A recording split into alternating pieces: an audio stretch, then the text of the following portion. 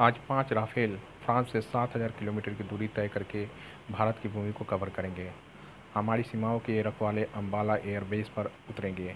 परमाणु हथियार ले जाने की ताकत रखने वाला यह विमान दुनिया का एकमात्र लड़ाकू विमान है, जो पचपन हज़ार फीट की ऊंचाई से भी दुश्मन को तबाह करने की ताकत रखता है। सबसे महत्वपूर्ण बात यह है कि यह क्षमता हमारे पड़ोसी पाकिस्तान और चीन दोनों की सेना के पास नहीं है। यह राफेल लोकसभा चुनाव 2019 में सबसे बड़ा मुद्दे के रूप में उभरा। कांग्रेस नेता राहुल गांधी पर इस विमान के सौदे में भ्रष्टाचार का आरोप लगाया गया था और पीएम नरेंद्र मोदी को घेर लिया गया था।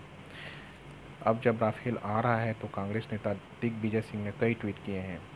दिग्विजय सिंह ने राफेल विमान की कीमत पूछते हुए एक बार फिर सौदे पर सवाल उठाया है।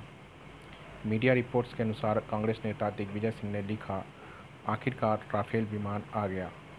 126 राफेल विमान खरीदने का निर्णय 2012 में यूपीए द्वारा लिया गया था।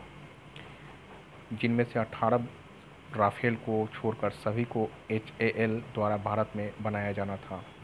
यह भारत की निर्भरता का प्रमाण था।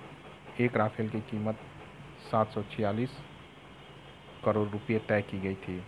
दिग्विजय सिंह ने लिखा, मोदी सरकार के आने के बाद मोदी जी ने रक्षा और वित्त मंत्रालय और कैबिनेट समिति के मंजूरी के बिना फ्रांस के साथ एक नया समझौता किया और निजी कंपनी को एच का अधिकार देने के लिए एक समझौते पर हस्ताक्षर किए।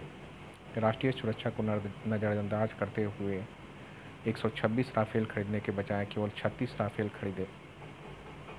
कांग्रेस नेता ने लिखा, एक राफेल की कीमत कांग्रेस सरकार ने सात सौ छियालीस करोड़ रुपए। लेकिन चौकीदार महोदय, संसद और सदन के बाहर भी कई मांगों के बावजूद यह बताने से परहेज किया कि एक राफेल कितने में खरीदा गया था। क्यों? क्योंकि चौकीदार की चोरी उजागर होगी। चौकीदार, कृपया उसे कीमत बताएँ।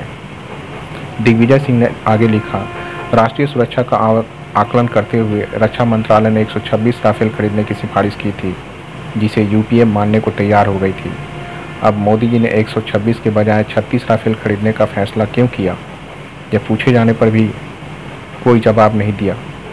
मोदी जी ने राष्ट्रीय सुरक्षा से समझौता नहीं किया। कांग्रेस ने सवाल पूछा था कि अगर हम इन सवालों के जवाब चाहते हैं तो मोदी जी की ट्रोल सेना हमें देशद्रोही कहती है। क्या विपक्ष को लोकतांत्रिक व्यवस्था में सवाल पूछने का अधिकार नहीं है?